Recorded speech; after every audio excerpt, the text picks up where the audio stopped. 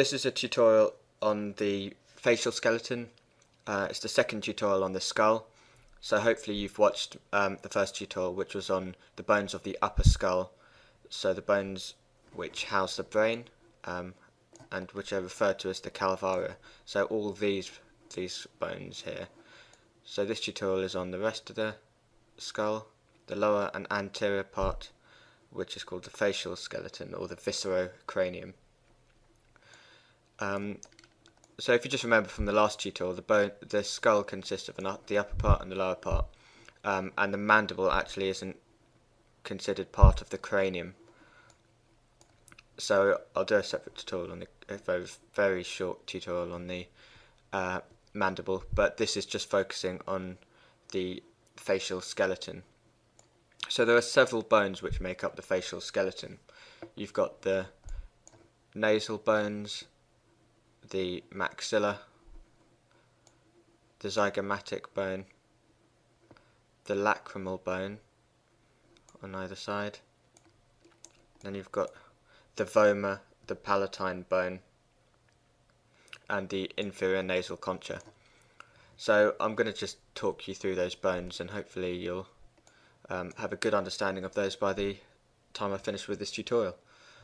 Um, so that just like loads of things in anatomy, there is a mnemonic for remembering these bones, um, and that's Virgil cannot make my pet zebra laugh.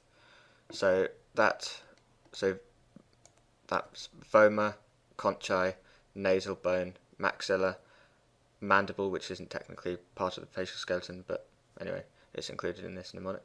Palatine, zygomatic, and lacrimal. So I'll just show walk, talk you through those.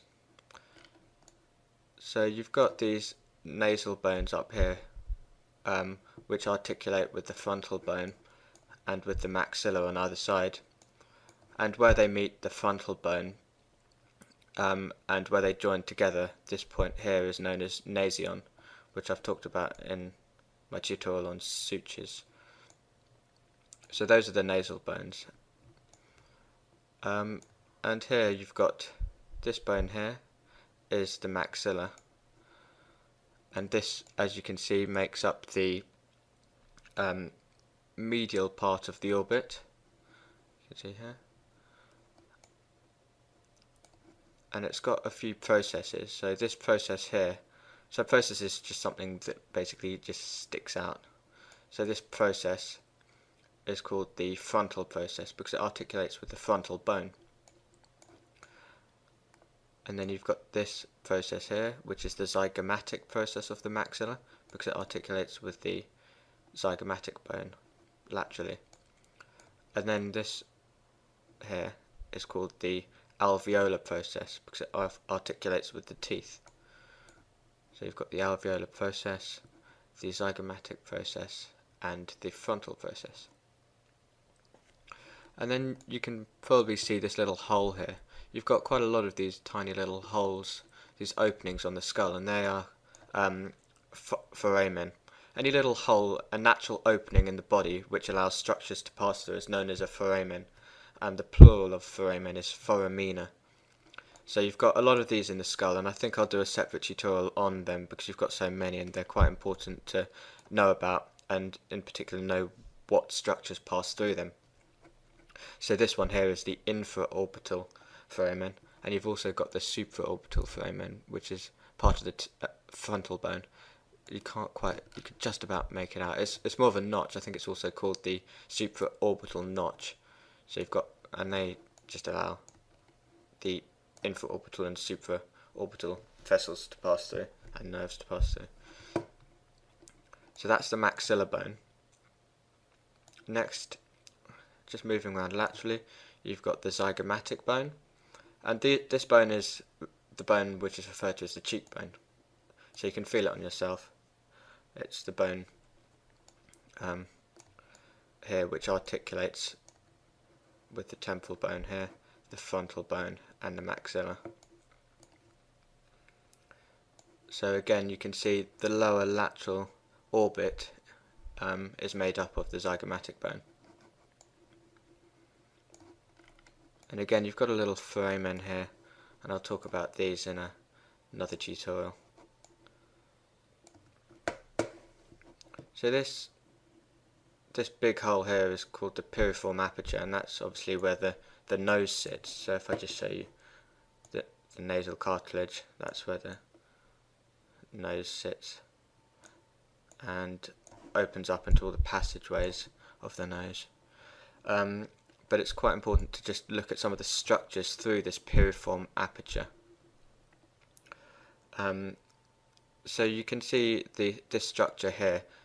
I don't think I talked about it in my last tutorial, but this is the perpendicular plate of the ethmoid bone. So you can see it, it's called the perpendicular plate because it drops perpendicularly down from the ethmoid bone. And then these structures that you can see from this anterior view on either side are the concha or conchae in plural. Um, so these are bony structures that make up the passageway passageways of the nose. Um, so the this is the middle concha. You can't see the superior concha from this view, but the middle nasal concha make up a part of the um, cranium, not part of the um, uh, sorry, not a part of the upper cranium, so the part of the calvaria, not the facial skeleton.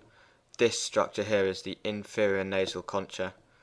So if we just zoom in, you can see that this um, long bone that extends posteriorly is this is the inferior nasal concha, and it's part of the maxilla bone. So look, you can see you can see this is the maxilla bone and the inferior nasal concha is part of that.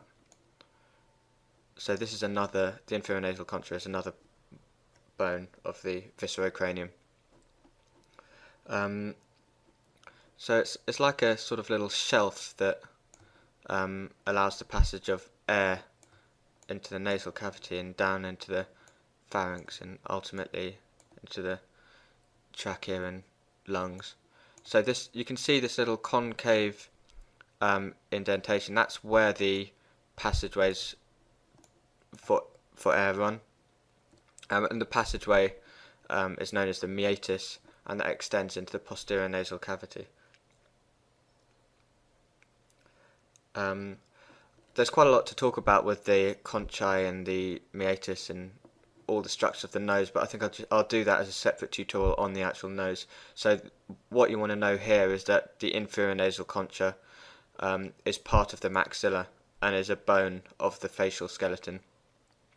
Um, and just that this is the perpendicular plate of the ethmoid bone, and these structures are the middle nasal concha, and you've got superior nasal concha, which you can't see here, and they're part of the um, upper cranium.